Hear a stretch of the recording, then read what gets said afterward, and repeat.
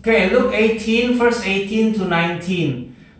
A ruler questioned him, saying, Good teacher, what shall I do to inherit eternal life? And Jesus said to him, Why do you call me good?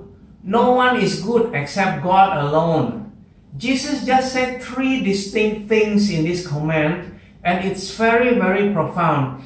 In fact, verse 19 set Christianity apart from other religion.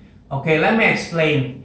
Firstly, good and righteousness is not arranged on a scale but a point. We cannot measure good or righteousness on a scale from 1 to 10. We are either good or not good. We cannot be a little good or mostly good, right? Other religion measure good on a scale, meaning that the more good we are, the better chance we get to heaven the less good we are, the more likely we go to hell. Jesus says here, no one is good but God alone. Okay, that means we are all bad and we don't have a chance of getting into heaven, right? Well, not really. I'll tell you later. Secondly, it is God who defines what is good. Since He's the one who decides who goes to heaven or who aren't, right? So only God can set that standard of good.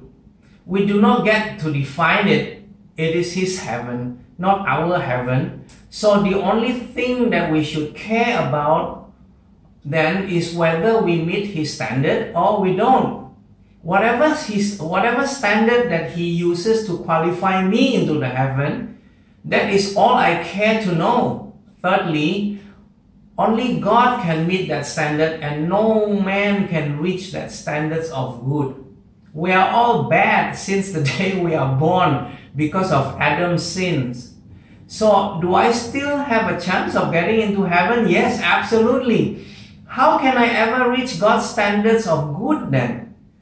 Through His Son Jesus Christ, who has already paid our badness or unrighteousness in full to God the Father by His blood on the cross. So, friends, Believe in Jesus Christ as your Savior, okay? Confess your sin and invite Him into your life. That is the only way to be perfect in righteousness and good in His eyes.